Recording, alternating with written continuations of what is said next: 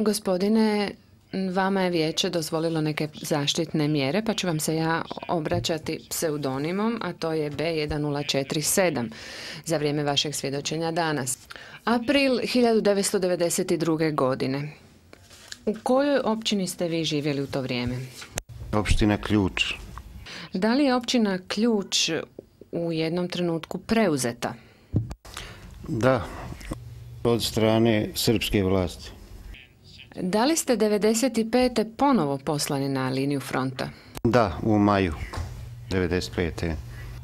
Tada je policija srpska došla rano ujutro i pokupila mene, Dursuma Pajića, Zijada Bukvića, Derviša Šehića, Safeta Šehića, Mehmeda Šehića, Osmana Muratovića i direktno nas odvela u mjesto Drenovo tjesno, nedalako od kasarne Grabež. Koliko dugo ste ostali raditi na liniji fronta taj put? Do 13. septembra. Pa 13. septembra a, snage petog korpusa BH armije su pro, prodrle linije srpske, tako da se srpska vojska počela povlačiti prema Sanskom mostu. Pa tada smo mi morali skupa sa srpskom vojskom da idemo i prema Sanskom mostu.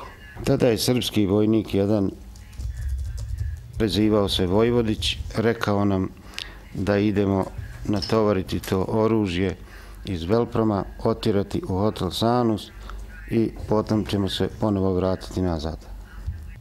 Dole smo zatekli 5-6 vojnika Arkanovih koji su naredili da utovaramo municiju, neke miljobacačke cijevi su tu još bile, čak i neka nosila za ranjenike.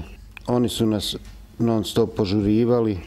Kada smo stigli pred sam hotel, na parkiralištu sam primijetio tenkova, e, transportera, miljobacački cijevi. Ispred su non stop bili desetak vojnika Arkanovi. Preko puta samog hotela, ispred jedne zgrade, vidio sam povezane civile za jedne stubove.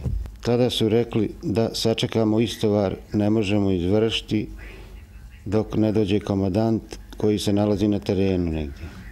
Vojnik iz ključa razgovarao s jednim Arkanovim vojnikom i tako su, dugo su razgovarali da su došli tu da vrate ključ, da je komadant na terenu, tako.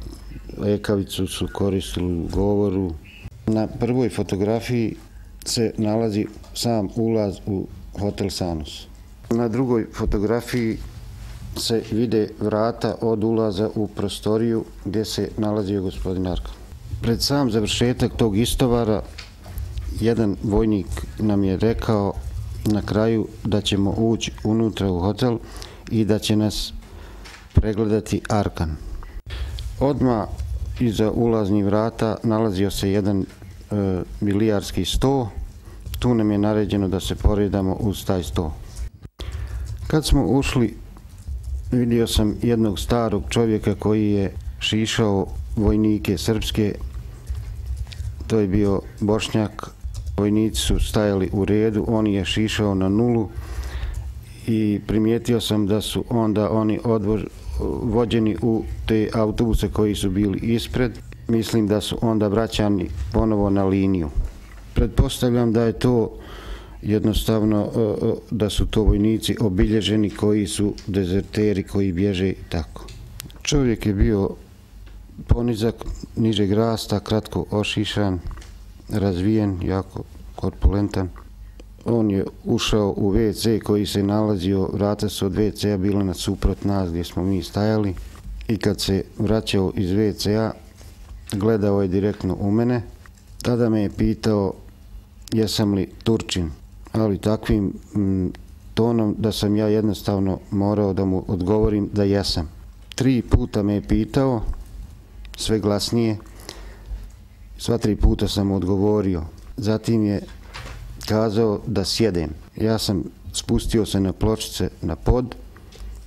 On je kazao da sjedem kao što Turčin sjeda za sofru. Da prekrstim noge. Što sam ja i učinio. Zatim je rekao da spustim glavu što niže podu, onda je rekao i ostalima da to isto uradi. Potom je jednog vojnika stavio ispred nas i kazao mu, ako koji mrdne, odmah mu saspi metak u čelo. U jednom trenutku čuli smo kamion koji prilazi samom ulazu. Tada su nam rekli da ustanemo i da izvršimo jedan istovar na polju. Tada ja i, i mnogi ostali nisu mogli odma da stanu na noge, jer jednostavno e, noge su nam se oduzele od dugog e, takvog sjedenja. Ali pošto e, sjećam se datuma, to je bio ujutro 20. september 95. Odjednom se začulo daj nazad i daj, oni moraju da idu. U tom trenutku kada smo se okrenuli da idemo nazad, ja sam tad bio posljednji u toj koloni.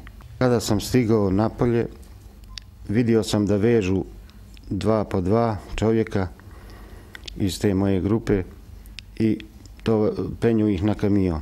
Tako da su i mene svezali s listicama s jednim čovjekom kojega ja nisam poznavao.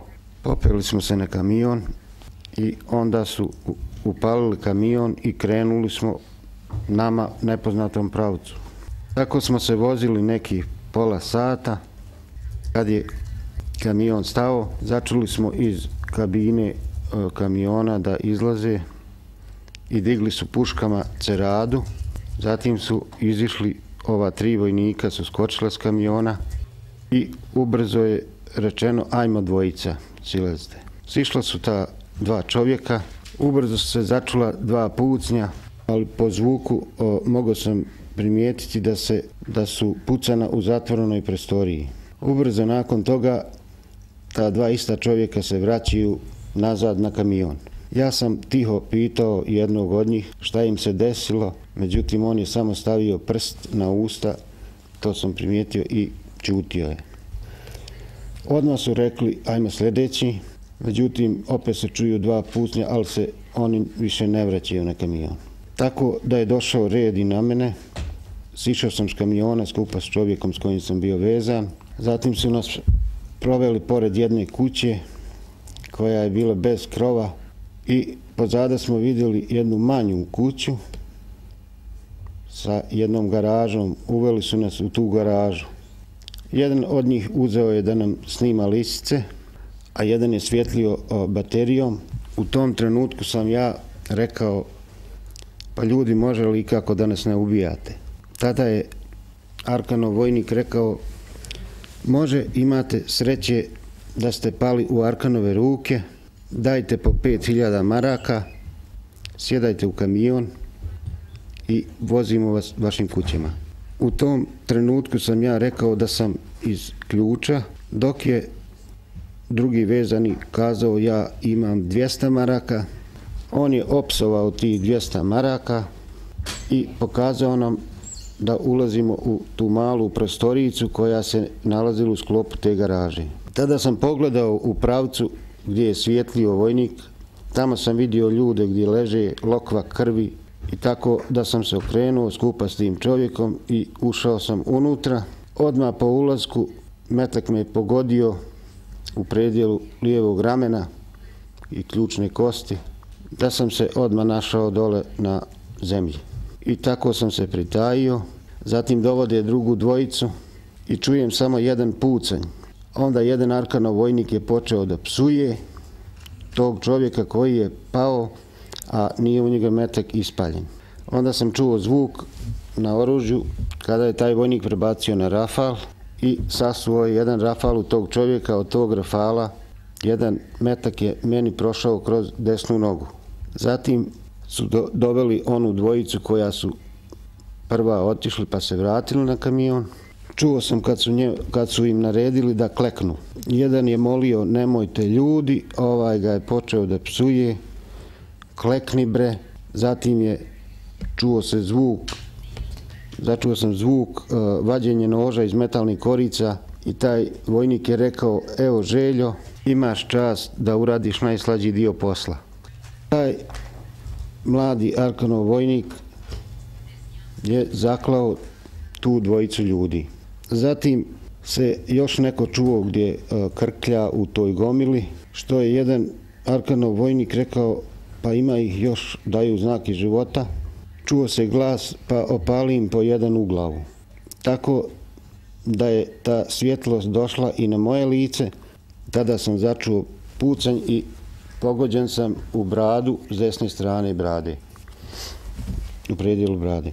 Potom su sjeli u kamion i kada sam čuo da odlaze zvuk kamiona, kad sam čuo da se udaljava, potom sam pitao ima li ko živ nekoliko puta, međutim niko se nije javljao.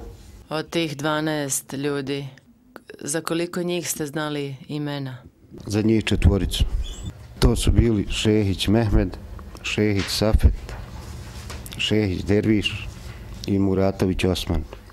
Jedan metak me je pogodio u lijevo rame, u predijelu ključne kosti, drugi metak u predijelu brade i treći metak u nogu